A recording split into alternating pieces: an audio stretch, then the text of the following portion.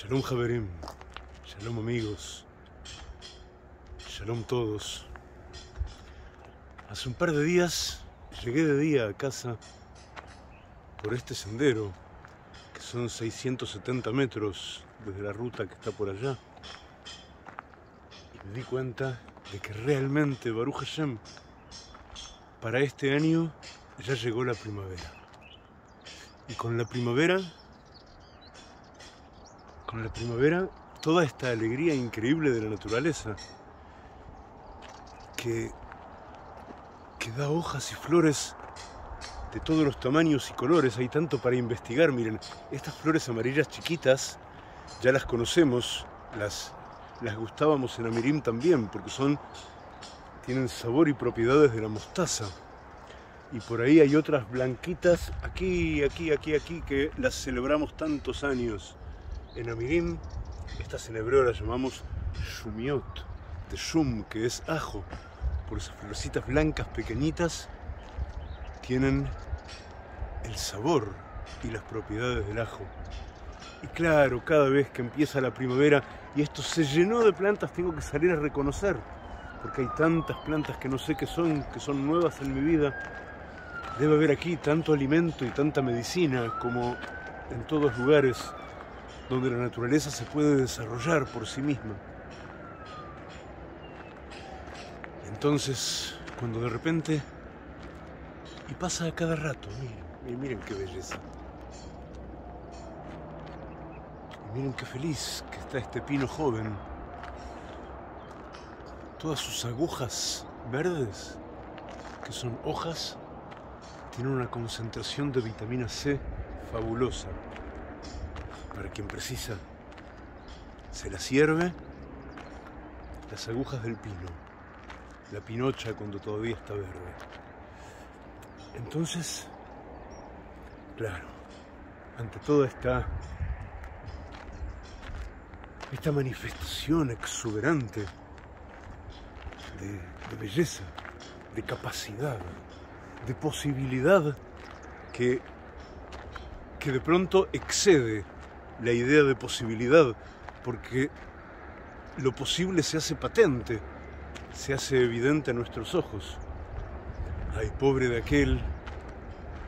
A quien esto no lo llame primero a asombro. Y entonces a gratitud. Y por fin a reflexión.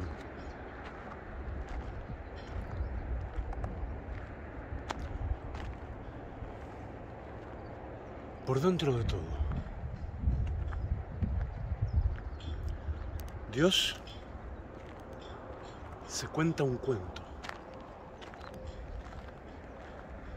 Dios, que lo es todo. Y no hay segundo con Él.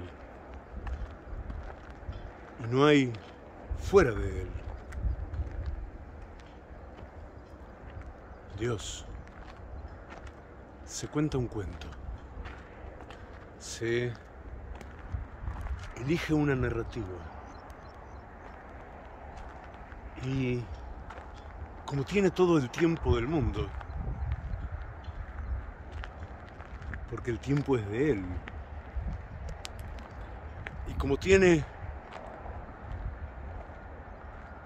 la mente total,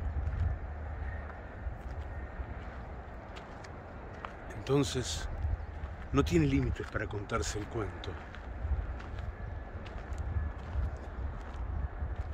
Y al contarse un cuento, se lo cuenta en silencio.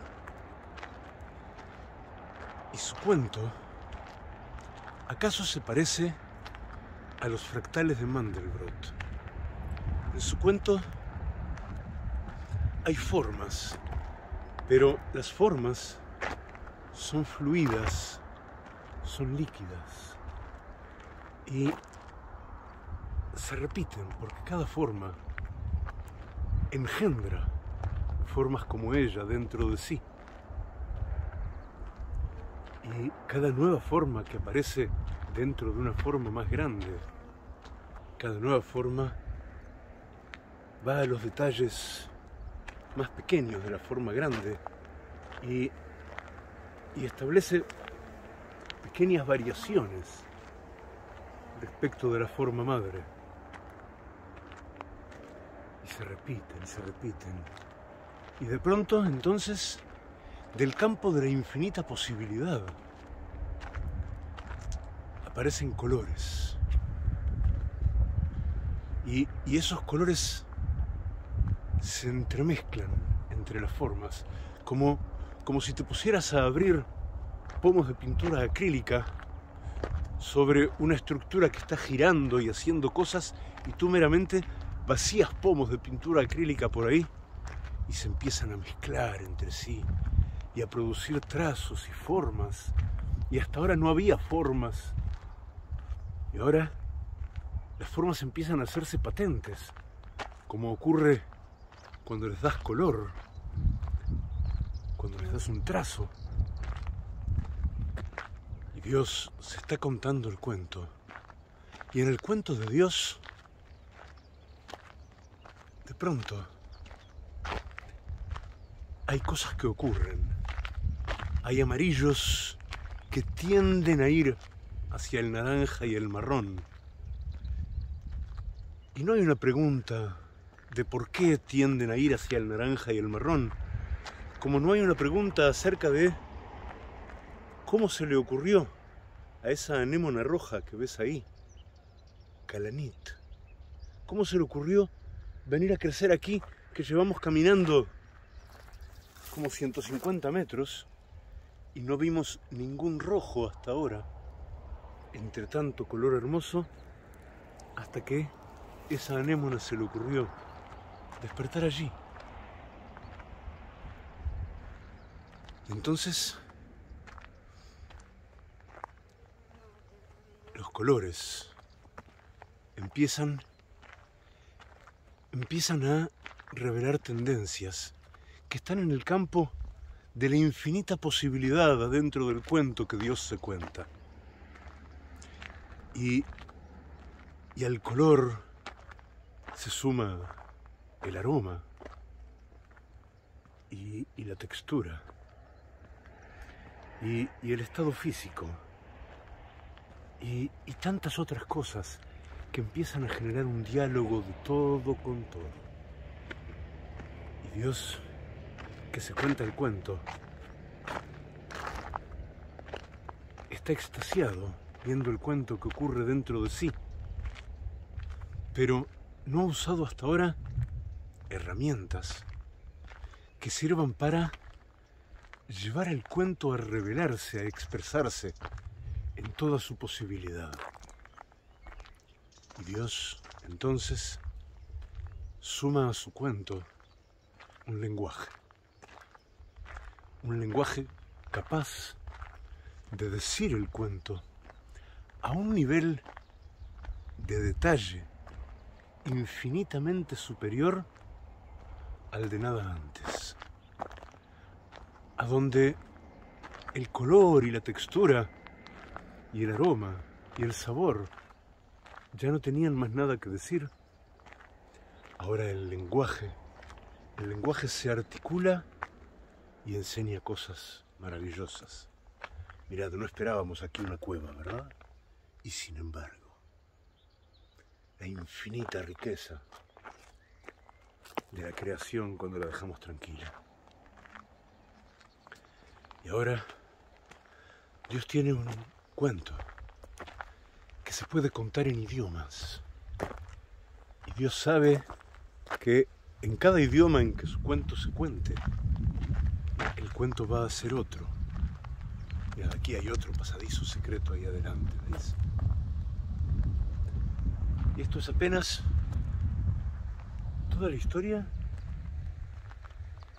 es un sendero que la municipalidad no quiere, que la municipalidad quiere que se cierre por alguna razón y no exista más y entonces no lo cuidan.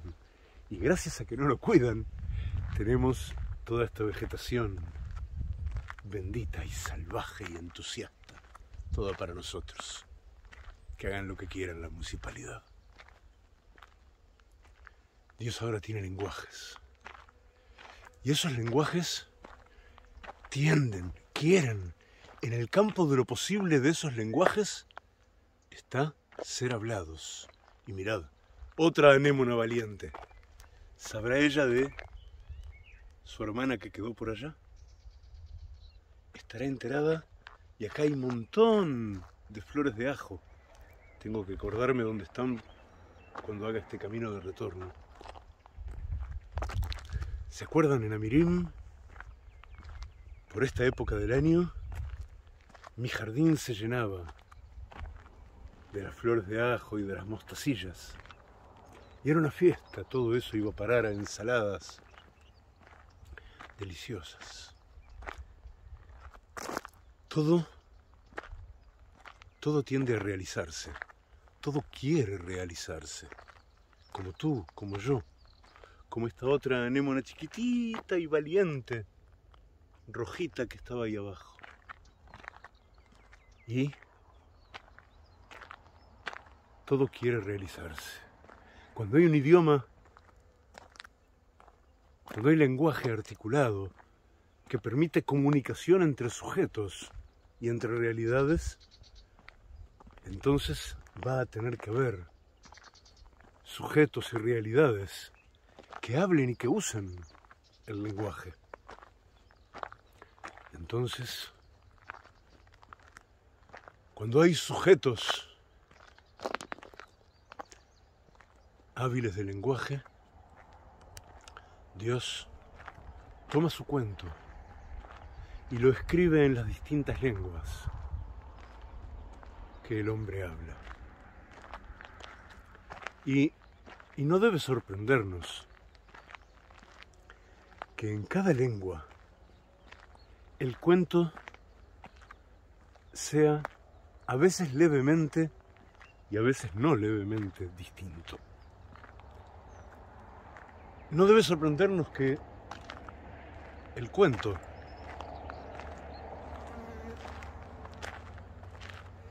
hay abejas a montones como siempre en primavera cumpliendo este ritual precioso de la naturaleza. No debe sorprendernos que me escriba el cuento en la Torá y que entonces el cuento que se escribe en la Torá, cuando es pensado por sujetos que hablan idiomas distintos del hebreo, es pensado distinto, es pensado como deriva de la semántica de sus propias lenguas. Y entonces tenemos una gran cantidad de relatos paralelos. Y como los hombres en general, no deberíamos tender a ser sabios, pero no. En vez de advertir la maravilla todos los rostros, de todas las fases, de todas las variaciones metafóricas y de ritmo que nos ofrece el cuento que Dios se cuenta. En vez de eso, los hombres creen que la versión que vieron en su lengua es una bandera, es un estandarte que hay que imponer a los hablantes de todas las otras lenguas. Porque ellos son herejes y eso se nota en los relatos heréticos que cuentan, en lugar del relato auténtico que conocemos nosotros del cuento que Dios se cuenta.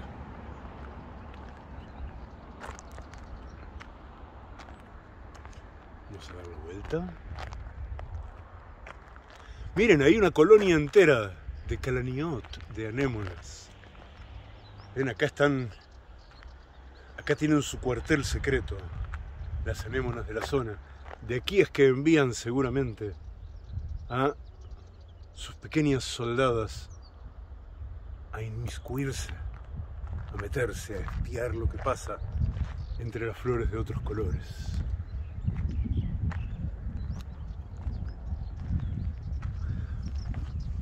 Hashem me dio a mí una Torah.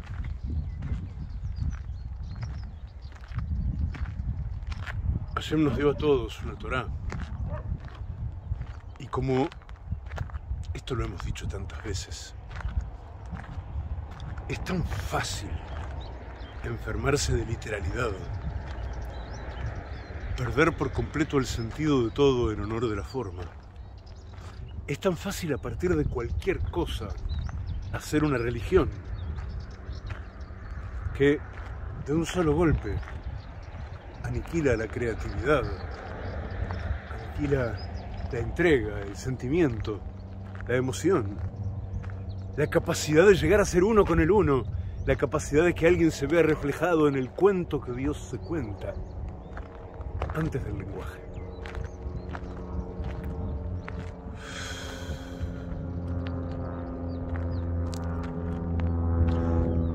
Y claro, quienes pensamos y todavía Baruch Hashem no hemos perdido ni, ni pensamos perder la esperanza.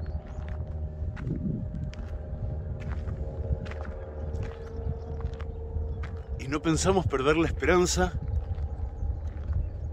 porque no perdemos la confianza.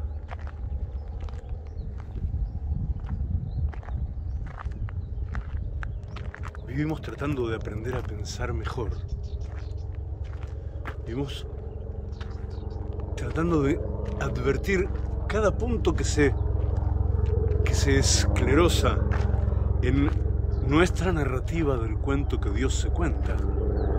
Y entonces ir hasta el dato que se esclerosó que hace ese helicóptero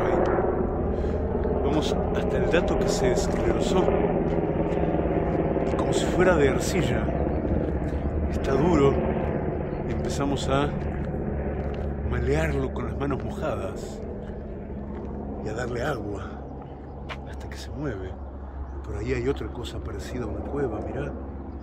Con ayuda de Hashem este verano vamos a pasear y descubrir muchas cosas en estos 600 metros de sendero.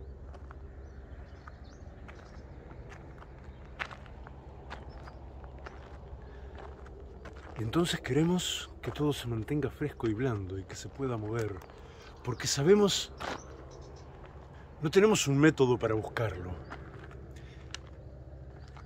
Tenemos una infinidad de herramientas para buscarlo, pero no tenemos un método para advertir, porque somos pequeños. ¿Cuál es el ángulo de la realidad que no estamos viendo? ¿O cuál es el ángulo que encierra para nosotros secretos que nos estamos perdiendo?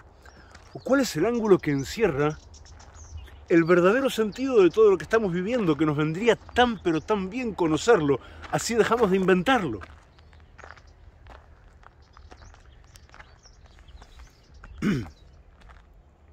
Cada vez que me encuentro con una metáfora especial, con una metáfora que dice cosas que otras metáforas no sabían decirme.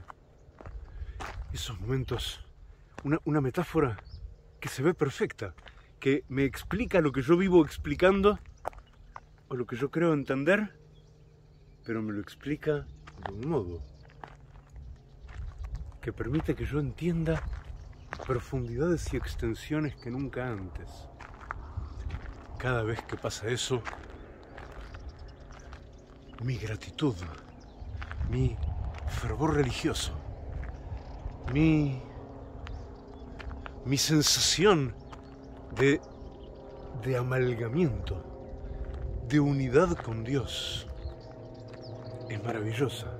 Y cuando esa metáfora, caramba, se demuestra suficientemente compleja y, y capaz, mirad, el algodón, mirad, qué belleza de variedad de todo.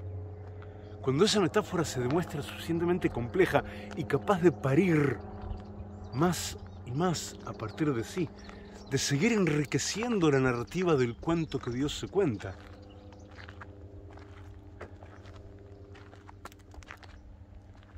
Entonces, entonces suspiro, respiro hondo. Y es como que en ese preciso momento, uno es liberado, liberado desde los cielos, como esta mariposa que espero que estés viendo, que meramente revolotea y no parece estar haciendo nada útil ni siquiera para ella, pero se divierte. Y cuando Hashem me regala una metáfora suficientemente rica y compleja como para que desde ella se reelabore otra vez de un modo más comprensible, más vivible, más dichoso. Toda la narrativa del cuento que Dios se cuenta. Entonces es como que recibo una exención. De repente, otro día más, que uno se levantó diciendo, hoy también me toca ser yo. Y de repente viene una metáfora nueva que explica cosas nunca antes explicadas. Y es como que recibí a último momento un mensaje, no, hoy tienes permiso de no ser tú. Hoy tienes permiso de no ponerte tu cabeza, de no ponerte tu rostro. Vamos a hablar de esto en su contexto, siguiendo, siguiendo el material del sitio web headless.org. Háganme acordar algún día. Pero de pronto, cuando hay una metáfora que viste de luz nueva a toda la narrativa, yo puedo salir sin rostro, sin el rostro mío, que es hacia afuera, porque yo nunca veo el rostro mío.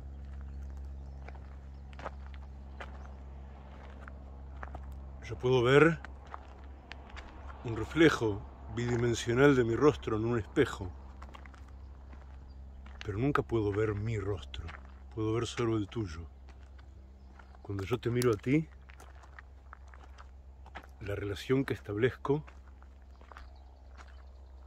puede ser y conviene que sea de un sin rostro, del sin cabeza, del sin juicio, del sin conocimiento, del vacío y abierto y dispuesto a ti. Y la única excepción es cuando veo a Dios. El único modo de ver a Dios es verlo en todas las cosas. Y en todos los instantes y en todas las variaciones. Y ahí, claro que hay un rostro. Están todas las formas fractales del relato divino que Dios se cuenta. Pero eso excede cualquier percepción finita como la mía. Cuando me encuentro con una metáfora genial, o con un sistema genial de metáforas, con, con un sistema mítico que puedo usar de referencia para entender hacia adentro de todo lo que creo ya haber entendido. Ese es un momento de gloria. Ese es un momento de gloria fervorosa en la que todo se hace posible. Estoy leyendo hace varios días, gracias a a las navegaciones extrañas de mi querido yerno Rabariel Wirtz, que encuentra lo que nadie encuentra. Estoy leyendo un libro que se llama Unsung, en inglés. El libro está solamente publicado dentro de un blog. Es un libro de 800 páginas más o menos. Y está todo en un blog con una tabla de contenido en HTML.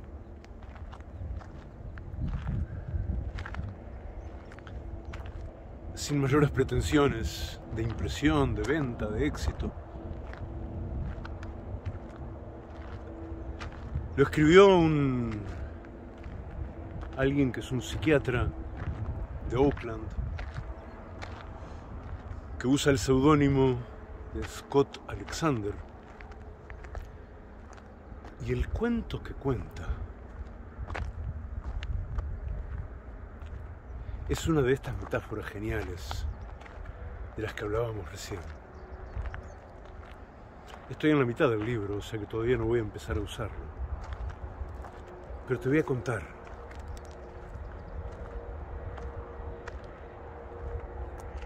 Ansong cuenta una historia de ciencia ficción. Ansong extrae de la capacidad de lo posible algunas ideas. Y, esas ideas las teje alrededor de la Kabbalah más profunda, de la Kabbalah en que los nombres de Dios lo son y lo hacen todo. En la Kabbalah en la que todos los textos son nombres de Dios. Y la trama de la narrativa que traza Ansong tiene tal amplitud.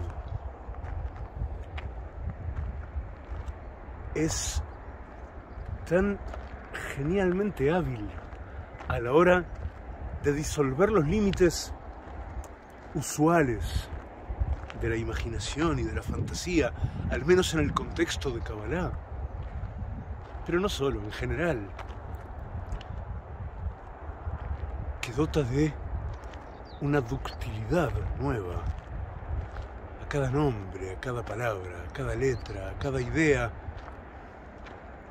a cada juego de palabras, a cada analogía, a cada cosa que alguna vez estudiamos como herramienta de lectura para descifrar lo que nos quiere decir en, en Ansong es, es mucho más fácil. Algunas letras que se permutan de repente lo explican todo y ya está. Y, y una vino de allá y una palabra vino de adentro de la Kabbalah y otra palabra vino del nombre de un tipo cualquiera y, y así como todo es todo y todo es uno y uno es todo, entonces las cosas que parecen extrañas entre sí y que no se nos habría ocurrido en, en nuestro lenguaje y en el mundo de referentes con que trabajamos de continuo, no se nos habría pasado por la cabeza juntarlas, poner a danzar juntos el el nombre de un recolector de basura de New Hampshire con el nombre de un músico de las Bahamas y una frase en que la Kabbalah enseña cómo fluye la luz de Dios. Vamos a pasear un poquito más.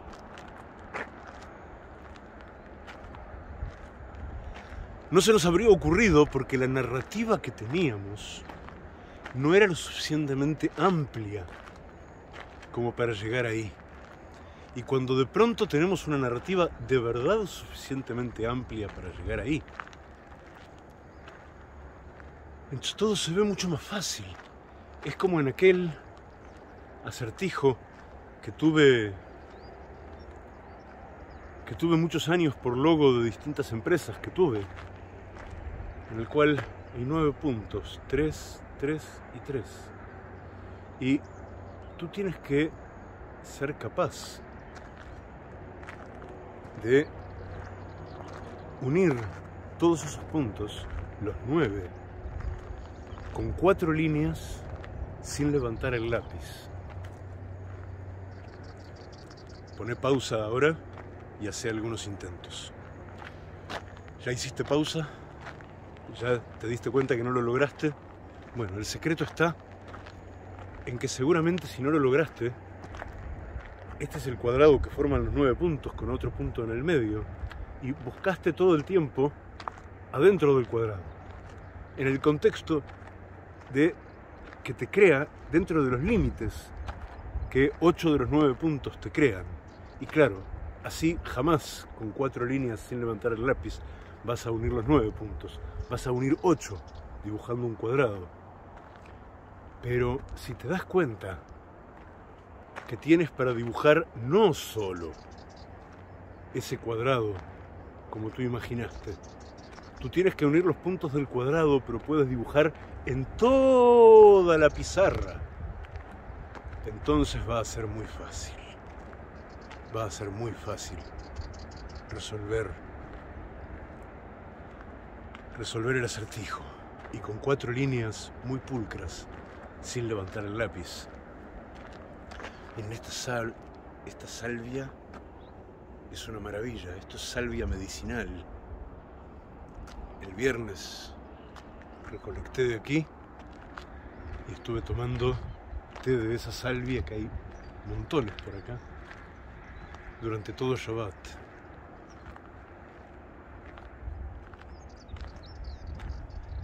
Entonces,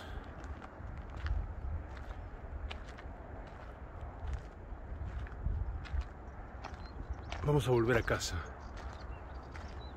Y en próximos días seguramente te voy a contar mucho más acerca de Anson también. Pero vamos a volver a casa porque Anson me dijo de repente, me hizo acordar, me hizo acordar más patentemente cosas que a mí me encanta decir y pensar y creer que las vivo. Anson me provocó a tomar algunas de las narraciones del cuento que Dios se cuenta y que escribe en su Torá.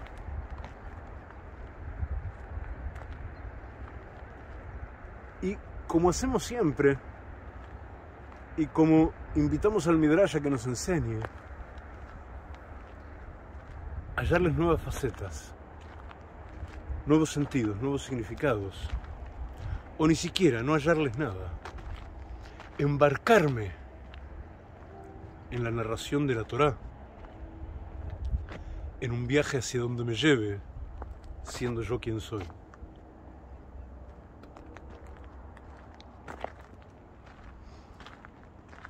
De algún modo, eso es lo que vienen a hacer los distintos niveles de exégesis de la Torá y todos aquellos que los practicamos. Si te fijas, se trata de lograr que un cuento sea capaz de contar todos los cuentos. Mejor todavía, se trata de demostrarme a mí mismo en vida propia que un cuento me cuenta todos los cuentos. es una buena síntesis de lo que hacemos en la Torá, porque son los cuentos los que me van a enseñar y a explicar las leyes. Son los cuentos los que me van a dar el, el, el contexto en que aplicar las leyes. Y entonces, cuando el cuento se desplaza con él se desplazan sentidos de leyes y las leyes siguen estando, pero se traducen a otros cuentos, a nuevos cuentos, nuevos cuentos que persiguen mariposas que vuelan en senderos montañosos frente al mar. ¿De qué manera la Torah que yo experimento podría ser la misma? Experimentándola así como ahora con ustedes, que persigo mariposas y me quedo quietito al paso de las abejas. Mira, otra anémona escondida por allá arriba, entre las flores blancas y amarillas y violetas y moradas. ¿Cómo podría vivir de igual manera mi Torah? Así que viviendo adentro de un apartamento, en un edificio, en una ciudad, o, en cualquier otra opción. El cuento va conmigo y se cuenta sobre mi naturaleza, sobre la versión que soy de esa creación divina preciosa. Se cuenta sobre mis circunstancias. Se cuenta en el lenguaje que me cuento. Y de ahí entonces, como la variedad de hombres, la variedad de todo.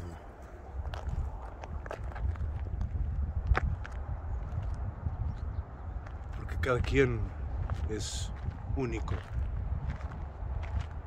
y es irrepetible y trae una misión que es solo de él y un trabajo y una parcela que cultivar.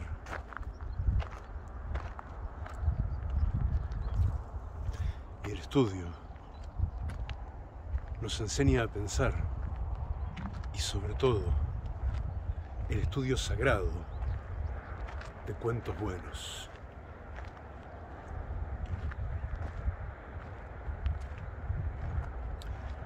Song vino a hacerme acordar que... Vino a hacerme acordar por qué hace más de 35 años que me fasciné con la Kabbalah profunda, que me enamoré de la ciencia de los nombres de Dios.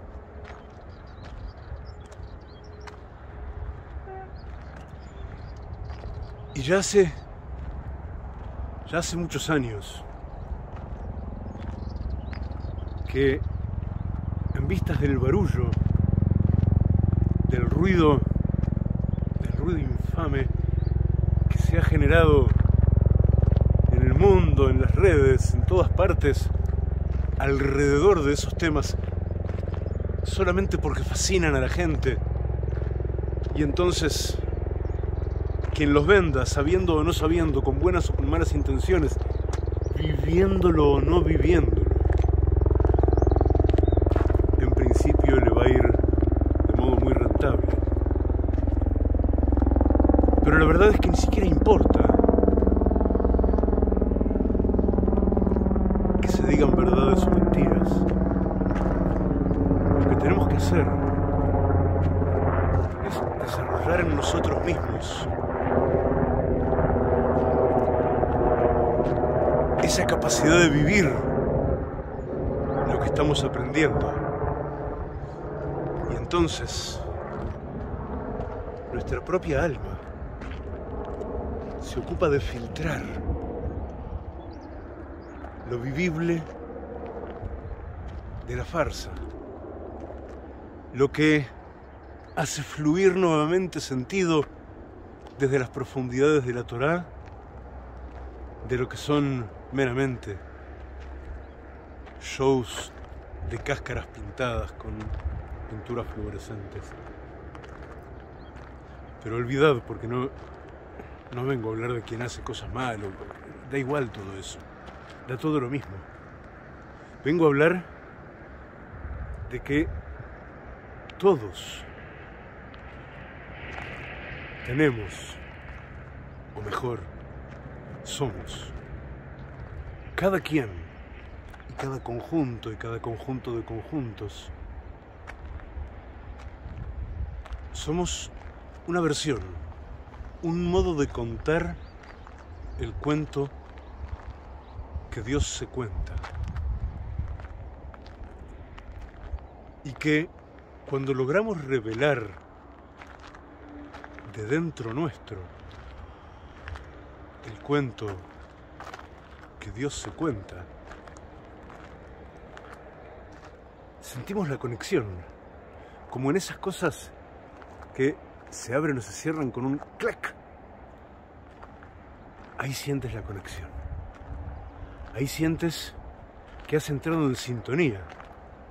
Y entonces el resto del cuento, el resto de la creación, el fluir de tu propia narrativa se enriquece de pronto y, toma rumbos, toma rumbos que no conocías, que no podías prever y que son tú. Son tú mismo esos, esos rumbos y esos sentidos que empiezan a aparecer en el cuento que tú te cuentas. Porque el cuento que tú te cuentas cuando has entrado en sintonía. Es el cuento que Dios escribió para ti. Y que entra fácilmente en paridad, en conexión, en resonancia con el cuento que Dios escribió para cada otro quien que también haya empezado a aprender a vivirlo. Y esa de verdad, esa de verdad es la única revolución. La única revolución en nuestras manos al menos. Fíjate tú. La única revolución verdaderamente con sentido. Porque en esa revolución yo aprendo todo el tiempo y me cambio a mí mismo. Y crezco. Y al crecer, al crecer soy divino, porque mi cuento es divino. Javerim, amigos todos, tenemos una versión nuestra, colectiva, que desarrollar del cuento que Dios se cuenta. La llamamos el Templo de Pasos. Se cuenta de muchos modos. El modo más importante de todos en que se cuenta es en nuestra interacción desde ella es en la interacción de todos nuestros cuentos personales. ¡Pah! ¡Qué festival de ajo que tengo acá! ¡Qué belleza! Es el modo en que todos nuestros cuentos personales se entrelazan, se sincronizan alrededor de las distintas versiones que logramos elucidar y de los sentidos y los significados que logramos elucidar en el cuento que Hashem nos cuenta en su Torah, que incluye todos los cuentos y todas las leyes. Ay.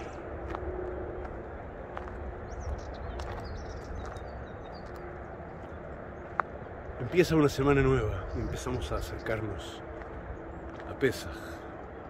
estas semanas tan locas que hay cada año, que van desde la mitzvah de la alegría de Purim a romper el yugo de la esclavitud en Pesach. Romper el yugo de la esclavitud es dejar de tener mente de esclavos. dejar de tener mente de esclavos. Dejar de ver cuando tenemos el acertijo de los nueve puntos, dejar de ver solo este cuadrado como el espacio en que me puedo mover. Dejar de ser como el elefante al que de chiquito lo ataron a una cuerda con una estaca en el piso y sigue atado con la misma cuerda y con la misma estaca en el piso y no intenta escapar, porque de chiquito no lo logró y no sabe que ahora eso no lo sostiene en absoluto. Dejar de tener mentalidad de esclavos. Adoptar mentalidad de hombres libres quiere decir expandir nuestra capacidad de imaginar, expandir nuestra fantasía.